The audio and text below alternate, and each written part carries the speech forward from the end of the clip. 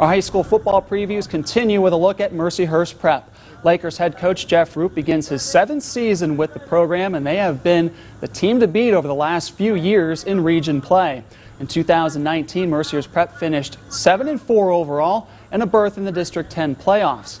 The Lakers welcome back a lot of experience up front. Most notably, quarterback Matt Luce returns under center. And that offensive line can work together as one. That's a pretty good thing to have. And so when you put them in front of some guys that can run the ball, Gus Campbell, Casey Crossman, Aronde Bridget, and Sam Gonzalez, we're happy with that. And then throw in Matt Luce at the quarterback, who's our first returning quarterback starter. He's the only kid I've had two-year starter for us at quarterback. We're happy with where we're at, and we think, you know, as long as we do what we need to do, we're going to be in every game. I've definitely grown a lot. I've got more comfortable with the offense, helping guys out if they don't know exactly where they're supposed to be. I'm seeing the field better, reading the defenses better. It's just a great experience coming back here, playing another season. I think it's great. I mean, he knows what he's doing. He trusts our wide receivers to air it out. He trusts our running backs to throw it to. Our tight ends are there.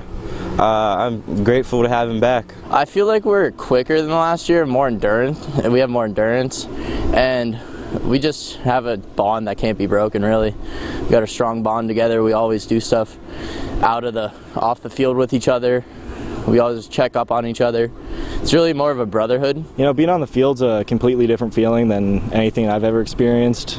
Being with all my brothers and being out there, just being able to enjoy football and not just what it brings to us as a sport, but it also brings us together as a family.